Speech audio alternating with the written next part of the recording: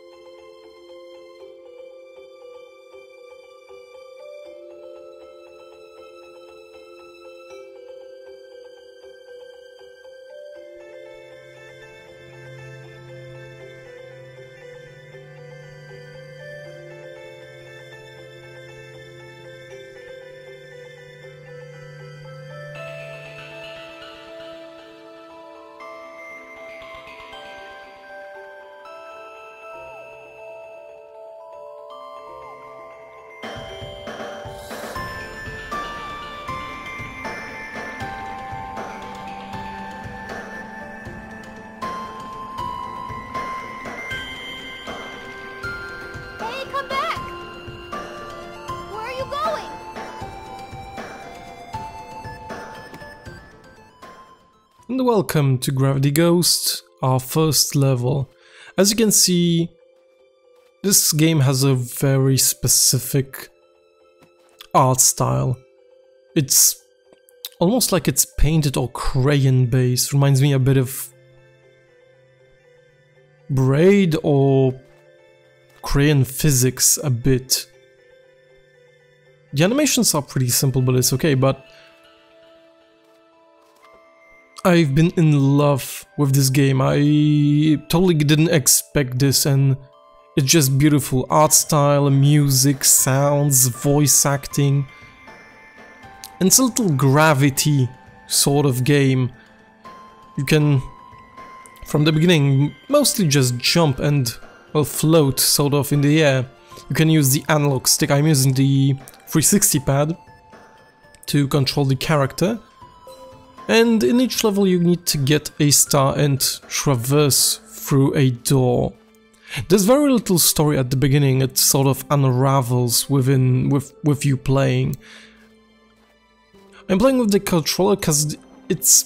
I find it easier because you can sort of just aim your character where where you want it to go and the aiming is the game uh, the controls are imprecise but the controls on the keyboard only allow you to go clockwise or counterclockwise.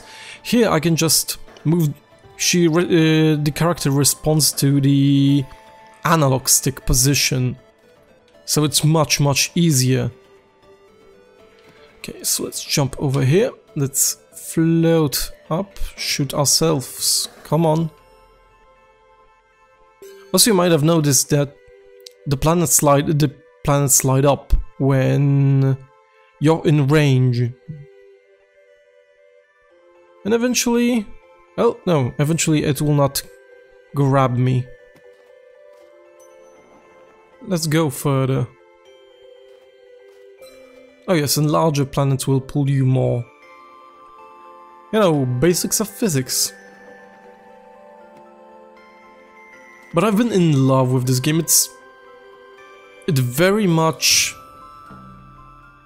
gives you new mechanics to play with, introduces new mechanics on a really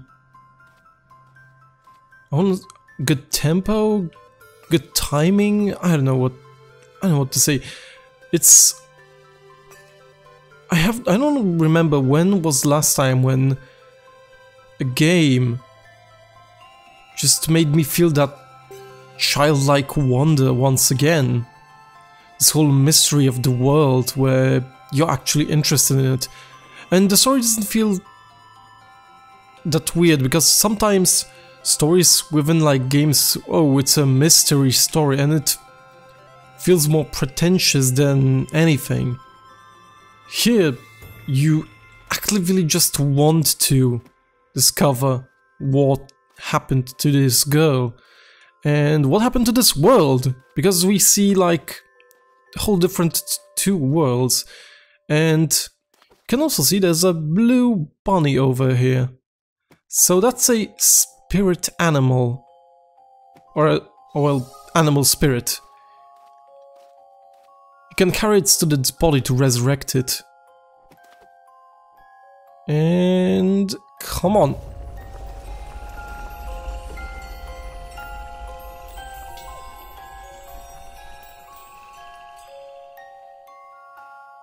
Welcome to the afterlife. Here is your hug.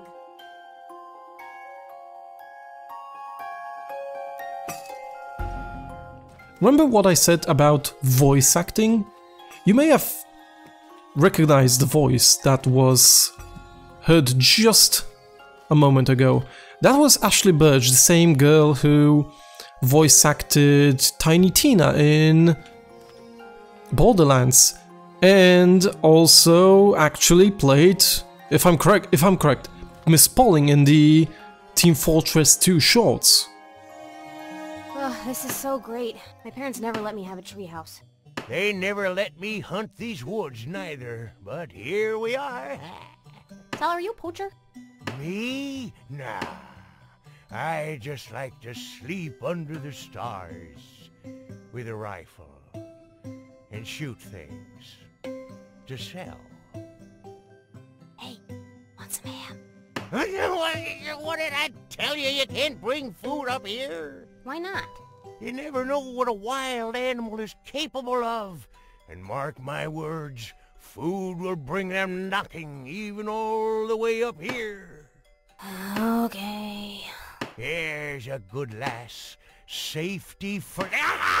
oh, blast it! My good thumb!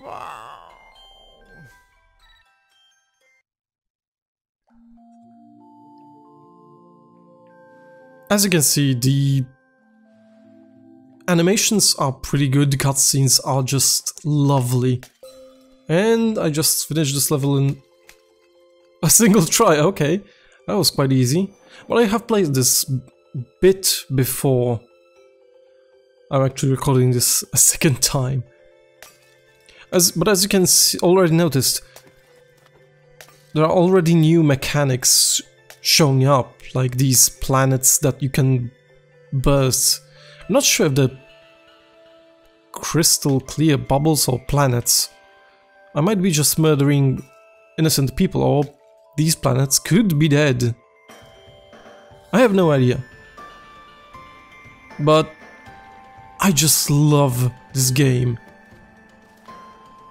You also might have noticed that, except for the stars, I also collect like flowers. Flowers extend your hair. Which not only is gorgeous looking, it also serves as a mechanic. Well, partially. Okay, I can. I need to get a bit of more momentum to catch this. And I screwed it up. Okay. This is silly.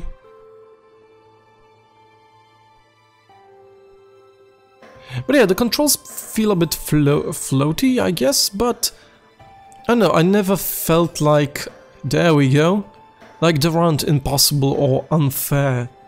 It isn't a game that, you know, will kill you if you mess up.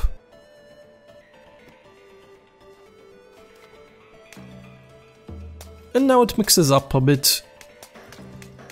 Oh, and I also mentioned that uh, Ashly Burch voice acts probably the girl. There's also Logan Cunningham from the Bastion, and the soundtrack I I can't remember. I remember what games he made, but I cannot remember his name. It's the same guy who made FTL music. So you can probably hear the similarities. And that's about it. That's the game in a nutshell. It's just... It has this feeling of a children's bedtime story wonder. The graphics, aesthetics, the music, the space-like space-like fanta fantasy theme. Less sci-fi, more fantasy. And there's also logical puzzles. Hooray!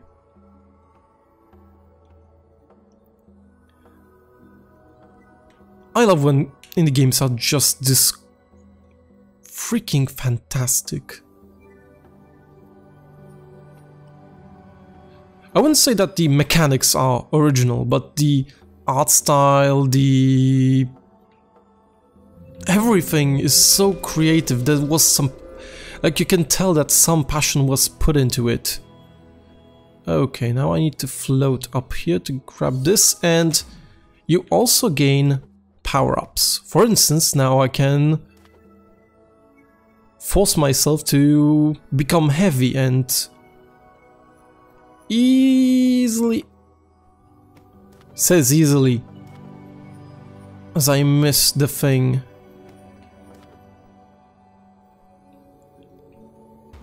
Okay, let's try that again. There we go. So the further you go into the game, the, the more control you have.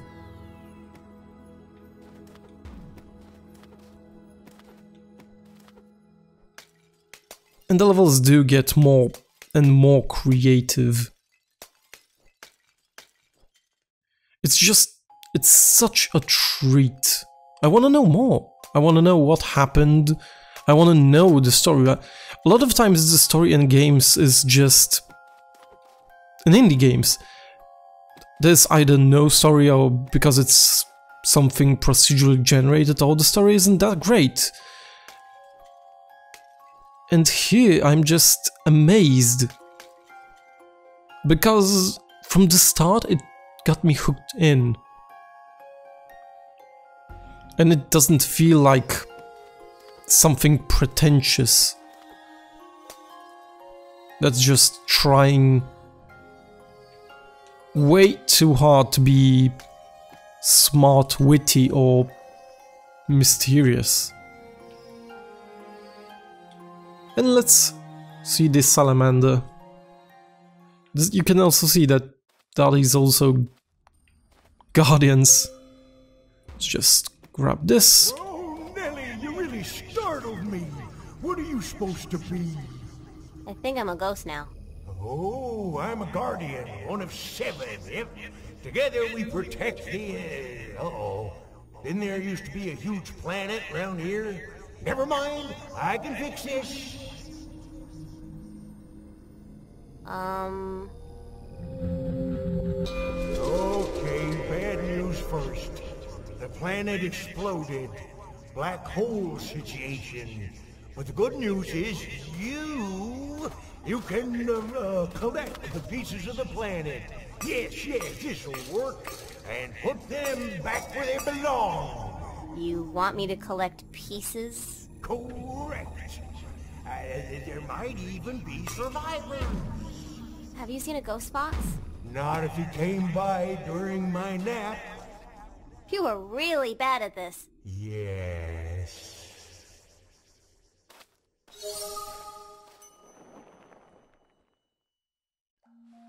As you can see, there are these... The characters are original, colorful, and just this game oozes with love and passion.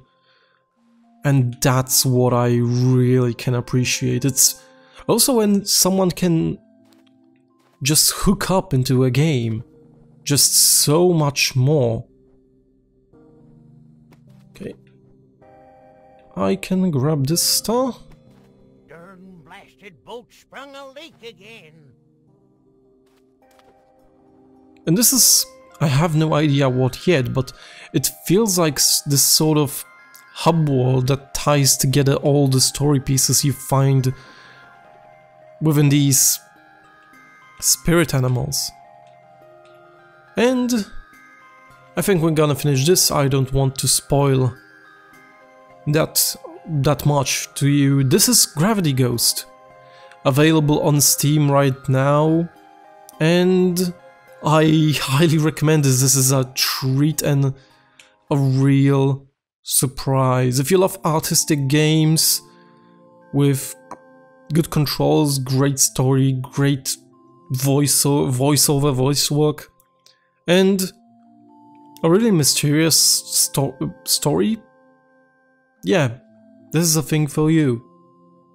My, my name has been TRG, and I will see you in the next indie game. See ya!